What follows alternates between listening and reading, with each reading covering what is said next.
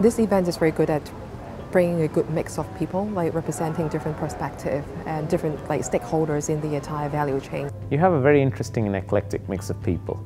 Uh, a lot of very sharp folks, uh, and I think you had some really excellent subject matter. I was very um, uh, honored to be invited to come and speak at this event.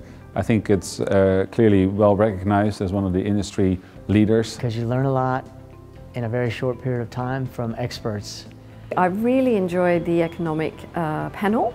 I thought they were hilarious and interacted really well. It was excellent to be able to see different points of view presented so ably by such eminent people. It was very insightful, it was informative, uh, and I enjoyed catching up with people and, and, and, and meeting new uh, people as well. The agenda is extremely interesting and probably, you know, people are looking at two days of very positive takeaway to come.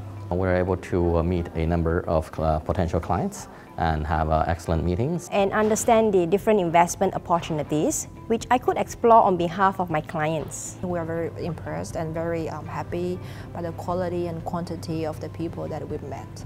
Uh, for me, it's unique. It's my first Asian event. It is, uh, it's very well organized, um, and it is, uh, it's inspiring. I think if you come and you spend the whole three days here as a representative of a family office, you're going to have a lot of information to go back and a lot of thoughts to think about in way of strategy going forward. I would definitely recommend this event to uh, other uh, uh, members of our network.